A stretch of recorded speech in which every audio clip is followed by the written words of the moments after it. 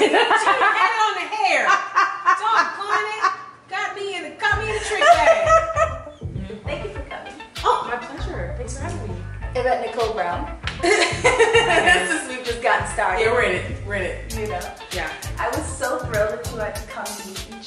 Yeah, I've been a fan for a while. I love. I, I That's crazy. Don't say that. No, no, for real. I, I I love creative people in every. I mean, I go to a grocery store and someone packs my bag well. I'll be like, you better pack that bag. Creativity in any way, like when someone has their lane and they rock their lane. Yeah. and, and I'm so impressed with it. And so that you've made your own thing out of a gift that you have and something that you love to do. Yeah. I'm like, yes. Yeah. I mean, for us, I think sewing sort of just evolved into like this huge other thing, you know. Yeah. So we see sort of sewing becoming, uh, you know, a bit like hip hop, where it becomes part of the culture. Yeah. Something that we can sort of see not as like what your grandma did. So you were born in Ohio. I Cleveland? was Cleveland, Ohio, East Cleveland. Okay. Yeah. And what was that like? Growing up in Cleveland was great. Like Ohio, well, the part of Ohio I was in, because I found out the other parts of Ohio are very racist and crazy. I, I thank God I was in No. Cleveland, where everyone loved each other and everybody was lovely. Um, it was the hood, which was good. I think the hood prepares you for life. It does. Um, what I love about Cleveland also is we have winters and we have all the seasons. So growing up, you get to see the leaves change and and got to have that experience of snow. And I learned to drive in snow, so now I can drive anywhere Right. including LA, where when it rains, they all act crazy. Child. Honey. So it was a nice upbringing. It was, I would have stayed in Cleveland my whole life had it not been for the weather and that the opportunities, what I wanted to do, Right. you can't do there. So Of that's the only reason I love. Otherwise, the people, everything about it, I just love. So you have a huge resume. Do it. Eh. Look, listen. Ish. Ish. I was scrolling through them and it'd be like, when does it I end? just don't like to say no. I feel like one day they're gonna stop asking, so I say yes to everything. I'm Okay. like Samuel Jackson. Yes. Yes, Yes. yes, yes, I will be there. I'll do it. Listen. Thank you so much. Listen. Yeah. Of that resume is a lot of voice work, which I don't know. I mean, do people know that you're so? I mean, I don't know if they know. I mean, I think there's. I get uh, things on Twitter all the time where someone will say, "I was listening to Wabbit, Right. And it looked like it was you and Bugs Bunny. Was that you?" I'm Right. "Yeah, it was me." Um, what's great about voiceover is that you don't have to be yourself. Like I don't have to be Mhm. a black woman in, Right. when I do voiceover. I've been a squirrel. I've been a bird. I've been a, a flying jaquin. That's what I do on Elena of Avalor. Mhm. So it's kind of fun. You, you get to go back and be a kid again and kind of um, have fun and Yeah. play. And you know, it's you can go in your pajamas. I like to take a shower before I go, but as far as my fashion, they have seen. I'm very clean, but they have seen some things. They've seen flip flops and baseball caps and no makeup. And nice. I like the idea that you can just go because it's not about this. Yeah. It's about this. And Yeah. so you get to give your best and just use your voice. So I love it. yeah, I think Yeah. it's great. Mhm. And so you started with commercials. I did. You've done a lot of commercials. I've done a lot of commercials. I did, I think, 45 national commercials. Wow. Yeah, in my, I think I did it for about commercials almost exclusively for like the first three years as an actor. Okay. It was all just commercials, and I feel like you learn a lot on commercials. I think they, commercial acting gets um, doesn't get the respect that it deserves. Mhm. You have to create a character in 30 seconds. You have to sell a product. You have to make the the client happy. You have to make the brand happy. Mhm. And you have to just show up and hit the ground running. You got eight hours to get this perfect 30 seconds. And Yes. you gotta know your stuff to be able to do it. So, Yeah. yeah. So I have a little bit of a secret. Yes. I secret? really just coerced you to get here. Yes. So I could talk about one thing and one thing only. What is this one thing? The Walking The Dead. Walking Dead! Yes, that's awesome. It's Yes. my favorite show. Isn't it? No, no, listen. But it really It's is my favorite show. It's a good show. Listen, Yeah. Norris wasn't all that up on, on The Walking Dead. How dare you? I know, right? is that, how is that possible? I don't know. First of all, Walking Dead. If you guys have not watched The Walking Dead, get your life. Okay. And what have you been Find doing? it. Right. But the second thing is, I think people who don't watch, they don't watch because they think it's about zombies. Right. And it's not. Oh, no, it's no, no. it's about the family you create. It's about are you a hero or a villain? Because what I love about the show is everyone thinks like if you were to ask me if, if everything went to hell, Yvette, who would you be? Well, I'd be a hero. Right. Maybe not. Maybe not. Maybe not. I might be a villain. We might be a villain, and, the fir- and you might be a coward. Like you like to think that you, well, I'd be the one protecting everybody. No, you might be the one hiding, Listen, I would be like like the Reverend in the first. hoarding, hoarding canned goods. Yeah, I would be scared. See what I and mean? Hiding behind Right. But you think, but but his eyes. It's great that you would admit that because most people would think that they'd be the, the rock star. What I love about the show is the person you think is going to be horrible Yes. is actually great. Yeah. The person that you think is going to be great might end up being horrible, Yeah. and it makes you look at your life and go, well, who would I be if somebody needed me? Who would I be if it was life or death? What kind of person would I be? And then again, it's the family you create, which I think, as someone that, as a transplant from Ohio coming here, Mm-hmm. um, I've made a family out here. You've made a family out here. So it's not just about your blood, it's about the people you choose to walk through life with, which I think is really a great lesson. So Yeah, no, I I, love the show. I've, I've watched it from the very beginning. Yeah. So really, what I what I brought you here is um, to say that I need you Mm. Yeah. to figure out a way to get me on the Talking Dead couch. to be on the Talking Dead couch. Listen, But this might be I'll your sit behind you. Tell us I what. Tell us why. Us. Tell the camera. This is your audition. Tell the camera and Chris Hardwick and the producers of Chris Talking Hardwick, Dead listen. why you should be on the Talking Dead. Go. First of all, I'm awesome. Don't you see this energy? Don't you see this going on right now? Seriously. This show is amazing. Yeah. Y- You know what I what I really loved is because I started watching it from the very beginning. Yes. I wasn't you sort of weren't sure what the show What was gonna, was gonna be. You know what I'm Right. saying? And but you so quickly get invested into those characters. Like Yeah. Rick for me is like if the world were to end, I Yeah. want to be with Daryl actually. Of course. Norman. Norman, listen. Norman, Norman. you are my absolute favorite character. Yes. Like Yes. I, if something ever happens to Norman, Nothing can ever happen. Nothing Look, can we're all ever gonna happen. riot. We know we're gonna riot. it will be the end of Uh-huh. everything. Uh huh. Like Uh-huh. you know. Hundred percent. And I think for Rick, he has had such devastation. Mm-hmm. And he has already gone through so so many different emotional breakdowns in the show Mm-hmm. Yeah. that I don't know that he can handle Losing Carl. losing Carl. Because we already know that uh, Jude's not his. Right. Thank you. Mhm. Hello? Thank you for saying that. Hello? Hello. That baby Shane. That, all know that baby Shane's Shane. baby. Let me tell you. Shane's baby. Every time I see Shane on another show, I'll be like, Shane, what you doing? You check on your baby. Check on your baby. You send that child support check. How did the I want to be an actress, so I'm about to leave Cleveland and come to LA and just figure it out? I actually moved to LA to be a singer. I was in the East Coast family. And this is I, I tell this story so many times. I'm not even like embarrassed to tell it anymore. But I was in the East Coast family when I was younger. Michael Bivins group and um, was discovered a little bit after the, he discovered Boyz II Men. So I was like, oh, I'm going to be a singer. I'm going to move oh out wait, there. wait, that was a really great time with the new edition. It was exactly. It was all Yeah. uh, like a full circle Okay. moment. The music industry had taken like a little bit of a turn, Mm-hmm. where it was like, "Throw me against the wall, flip me up," and I was like, well, "I can't sing about being flipped upside down. Where are we? Is it, is it sanitary in here?" Like it was just so many things that I could not sing.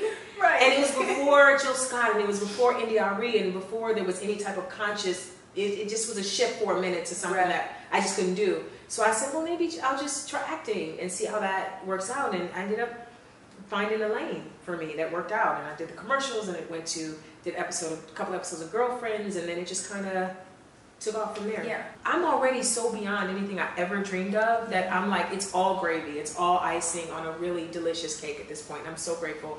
And I hope that anybody that meets me or um, engages me on social media, I hope they feel that I'm just a regular person that just happened to luck up. You know, there's Yeah. there's this misconception that because someone's an entertainer or a singer or whatever, that they're special. And I always say either we're all special or none of us are. Right. You know, I know that you're an advocate. Mm-hmm. Um, and you know, for me, I'm, I'm a survivor of sexual abuse Mhm. um, as a child, and then Mm. physical abuse, um, domestic violence uh, during several times in, Yeah. in my life. Um, so when the Me Too movement came out, Times Up, you know, it sort of hit home, Yeah. and it was really empowering to see Mhm. sort of all the women come together Yeah. and take a stand. And I Yeah. know that you were just at the Women's March. I was. What was that like? It was so great. I, I, I marched last year and this year I spoke. All my nervousness just dissipated. Mhm. And it was like, all right, let me tell the people what God wants them to know. And I, I hope that's what I did. You know, that it landed where it was supposed to land. And I still got to introduce Tony Goldwyn, which was great. So when I started the blog, it was sort of just a hobby. It was fun. Mhm. I needed something to do. Mhm.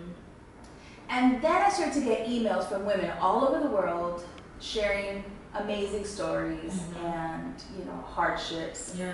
I've had you know I've been thinking of committing suicide. Wow.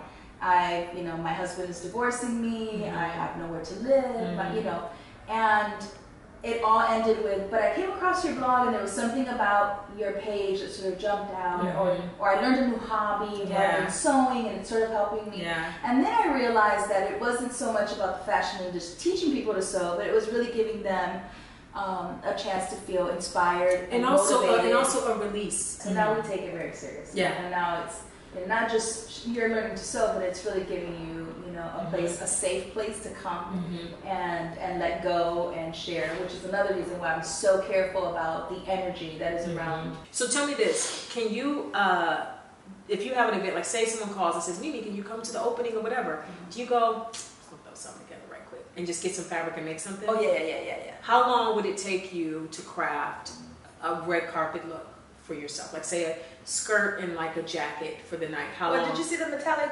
evening gown I Yes. just made? I did that in like four and a half hours, four or five hours. Yeah. So do you keep a stockpile of fabric, or do you go because you live in the area where you could go right to get the fabric? No, but I have a huge stash. Is it here? Oh no, it's that. It, look, we hide the stash. I just want to see No, the stash is at home actually. The the stash is at home. It's on Instagram. I started to bring some fabric because I have I, I go and I, I don't come down here often enough because I, I get lost when I come downtown. Mm-hmm. But I'll go to like Joann's and I'll buy like a whole bunch of stuff and then I forget the thing I wanted to make. I do So that I all the just I time. stack like was this was this the I do that all the hair was this the skirt? Especially only two things I because when something new comes up, we're like, oh, like we got invited to his friend's wedding, which Yeah. is why we made the outfits. And of course, it was like, oh, it's not like we think, oh, let's go in the closet and see what we have. It's like, Let's make what are we gonna make? You know? that. So I know how to put in a zipper. I know how to um, do a seam and a hem, that kind of stuff. Mm-hmm. Uh, but when it comes to like sleeves, collars, buttonholes, your girl's out. Maybe I can do a dart. I can maybe do a dart. Um, but yeah, anything that requires some type of structure or actually following a pattern, a real pattern. Girl, I'm gonna enroll you in the Sew It Academy. Yeah, I might need, I might need to enroll. I, I do want to learn. You got all these wonderful baby lock machines. Baby lock. I'm not even getting paid. I don't know why I'm plugging it. I don't got I Baby lock. you Baby lock. Holla at your girl. Holla at your girl, baby lock. Whatever. I'm No one you up. sends me anything. You hook me up with Talking Dead. I up Baby Lock. See Ain't? Nobody gives me, anybody ever gave me nothing. All right, I'm done. I love you, baby lock. So today's project is gonna be hella easy because we're literally just sewing some straight lines Done. to make it easy clutch. Done. It's one of my favorite things. You know, last minute you have somewhere to go, Then clutch. you make a quick clutch and you're ready to go. All right, you ready to sew? I'm ready to sell. We gonna make a super easy, super duper easy clutch. Who's taller, America? okay, super easy clutch. Okay, I'm sorry. Super easy clutch, no zippers, no buttons. Okay. Total beginner project. If anybody's interested in learning so This is the one. this is the one. Okay. You know, but you already know how to do all I do okay. I do okay. So how long is our fabric, Mimi? So we've cut a piece of fabric that is 18 inches by 11. Okay. Okay, and I've interfaced it, right? So I've used some fusible interfacing. You iron it on? yeah, you just iron it on to sort of create a little more stable fabric. Okay. Give it a little weight so you don't have a floppy clutch because you don't want no floppy clutch. I just burped because I had a protein bar in between. And I like to share when I have gastrointestinal issues and I burped. So in case you saw me go, I wanted you to know what happened. So I'm glad it came out that end, not the better other. up than down. better up than in, better up than down. Those are Cleveland proverbs. That's my mom's. Okay, I'm done. All right, all right. So okay, so interface. Interface it to create a little, a little little- stability, a little weight, Yes, a little weight. All right, and and that's all you need. Okay. sewing machine and some thread. I'm right? ready. So Okay. let's do this. So you're gonna fold it so that the right sides are facing, right? The, Mm-hmm. the fabric that the people are going to see. And you're going to fold it in half like this, Mm-hmm. right? Super easy. It's going to be on your on under the um, video so people can know how to do it? Yeah. Is it? It should be. I, I'm gonna make this in denim. this will be very Or nice camouflage. Cam- See how I knew you was gonna I love camouflage. camouflage. I love it so much. See? Okay. So, are you We're gonna send person. me loose in this? Yeah. So what you're gonna do? Am I going to the baby lock machine? Yeah. So you know we have several baby lock machines, Holla let your girl, right? baby lock. We got several Holla at your girl. in-house baby lock machines. Thank you, baby lock. Thank you, baby lock. So you In know, advance. depending on your comfort level, Cheer in advance. What? Thank you in advance. Baby advance. Okay, I'm done. I got All. I okay, got all right, all right. So They get gonna call you next okay, week. Christine, holla. Okay. okay, let's go. So depending on your comfort level, Mhm. you can sew on, you know, the baby lock Mercedes Benz, Mm. or you could do the baby lock Rolls Royce. I think I should probably do the The Rolls Royce. the- Perfect. Rolls Royce? Okay, let's do it. I don't know much about cars. I think that's a nice car. Okay, let's go. So what you're gonna do is you're gonna start here Mhm. at one end, right? This is the folded edge, Okay, and you're going to sew in a straight line using a half inch seam allowance. okay. We open a pivot, sew across the top. So we don't stop. We just pivot. yeah, we just pivot. We're gonna pivot, Mm-hmm. sew here, pivot again. We're gonna sew till about four or five inches before we get the end. We get get to the end. You're gonna back stitch to secure it, and then we're gonna leave an opening. So we're gonna skip about two inches because we need to turn this right side out. Got it. Okay. Then you're gonna sew, back stitch, and that's pretty much the bulk of this clutch. Good luck, everybody. You ready? Good luck. Yes, I'm ready. Let's do it. Okay, so we're working on the baby lock crescendo. Okay, mm-hmm. yeah, baby, yes. And this is a really great machine. It's super easy. It has a speed control, right? So in case you like, you know, So this is you want to go on baby steps. go baby you steps. go turtle, okay? Go turtle. And then this is like, what's Super the other one? The the rabbit. The, Is the that hair. The hair. The tortoise and the. This is tortoise. This is the air, and this some in the middle. Mhm. All right. Okay. You going to tortoise? I mean, you, you could do in the middle. You okay. could do middle. All right. Okay, so this has a knee lift. Okay, so to lift the presser foot, you just with your little knee, just go like this. Oh, push it Hey, over. Okay. there you go, and then That's you about. let it down. Is that about half inch right there? so half inch mark is gonna be this very first line here. Okay, so Okay. I line that up there, and then Mhm, And then just move your knee. There you go. nicely done, baby lock. Here's your reverse. So you're gonna go in reverse here. So you always go in reverse in the beginning and at the end. So secure your it? stitches. Mhm, So start to sew a little bit, like a couple, you know, stitches. I think I need the hair. I mean the tortoise. Let's go tortoise. Okay. And then back it up. and then back it up. Hey. Yeah, I, yeah, I could do the middle. I think it's a little. Okay, it's a little slow, It's a right? little slow. Okay, so All now right. we going? yep, you're just gonna keep going in a straight line, as straight as you can go. I think we can do Oh, you got this, girl. You got Yeah. this. Here we go. Okay, you see, you see, you picking up speed right now. You Listen, picking up what you speed? Listen, okay? I'm gonna go and make this do what it do. We got all day. I got to pivot a little later. I got to make sure. I'm Just very, keep that straight line. Just keep it straight. I don't know if y'all impressed with me right now, I'm very but I'm impressed. pretty. See, guys, separate. Hold on. Hold on. Stay with me. Stay with me, fabric. Roll tide. You got it. We doing like five eighths of an inch seam allowance, but that's all right. That's Oh, all wait, right. Wait, we, we, good. We good. we get to it though. It's fine. it's gonna look the same on the outside. It's gonna look the the same same on the outside. Okay. Now, now you make me nervous. No, you good. You good. Now, do I back stitch here? No, you're gonna stop about half inch before the end. You're gonna pivot Okay, wait here. a little bit more. Right there. Stop. Okay. Lift your presser foot with your knee. There you go. Turn your fabric. Oh, that's a pivot. Hey, there Oh, shucks. Here we go. All now, right, now- go to the end. Now you're gonna go to the end. Ridiculously bad sewing job that's ever been done in this studio. This is Say good. that right now. They do it better than this usually. That's some good control right there. Okay, okay. Oh, this is, this is a Rolls Look Royce. Let me you. tell you. Listen, Right? I don't work for Baby Lock, but I gotta say, this here machine, this is a smooth, functioning machine. All right. All right, That's real good. Now, now you're gonna use this little button right here to cut your thread. I'm cutting thread. All right, lift that presser. Did it See, cut just cut it. Just cut it. Ooh, See? Now where do I do now? Now you're just gonna move down about an inch or two. Yeah, there you go. And then you're just gonna back stitch again and finish it off. I go first forward a little bit first, Uh huh. There you go. and then go all the way down. Mm-hmm. And then back stitch at the end. All right. Listen, this has been great. Right here. Yeah, all the way to the end. There you go. Perfect. Cut. Cut thread. Girl, we almost halfway through. This machine is love. I mean, that's, it's here. There you go. All right, so we're gonna clip into these corners. And why? Okay? Why the corner? We're gonna remove this bulk. Okay, so right? when you 'Cause turn when you turn over, you're on the bulky corners. Got it. okay, so you're just gonna trim across like this, Oh, that's easy. and then I just remove a little bit and a little bit. Right? Okay.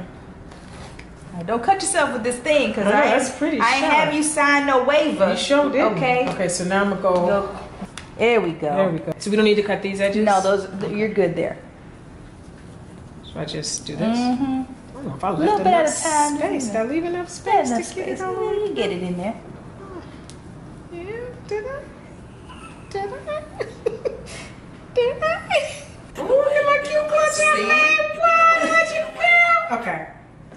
Right, so this is the clutch. Mm-hmm. Then you just gonna poke out them corners. Mm-hmm. All right, now we're gonna give this a little press. What, what, what did? Oh, it's it's touch sensitive. Oliso, thank you, Oliso. Thank you, Oliso. Holla at your girl. All right. Hey. Come on now. Let me just do that again. Mm. okay, so we got it. Is that good? We got it. Fold this over, and you're gonna stitch down on the sides, and that's it. You And trust me with that? Out, And then we're done. Trust me with that. Mhm. I'm gonna backstitch it. Yeah. Okay. You, you ready? Who's She had it on the hair. Doggone it. Got me in the got me in the trick bag.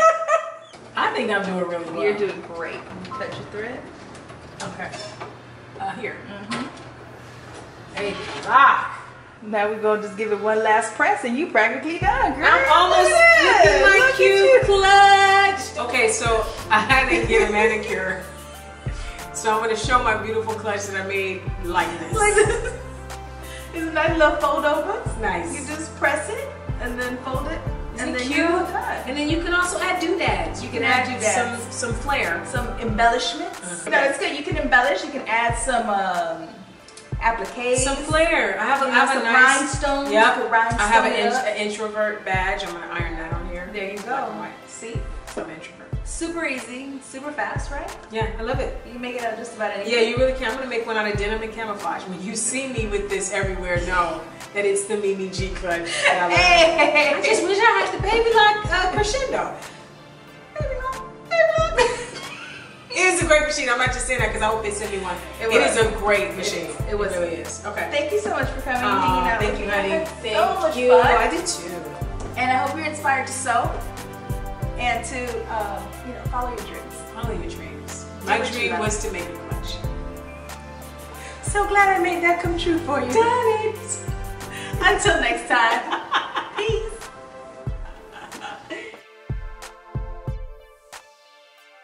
When it comes to sewing, there is always one question both beginners and experts seem to ask. How'd you do that? It's why Mimi created Sew It Academy. At Sew It Academy, you won't just learn the basics of sewing, you will also be inspired in ways you never thought possible to turn ideas into garments that you can wear anywhere. And the best thing, Sew It Academy is taught online where you can learn at your own pace. Hey, we all ask the question. Now Sew It Academy gives you the answer.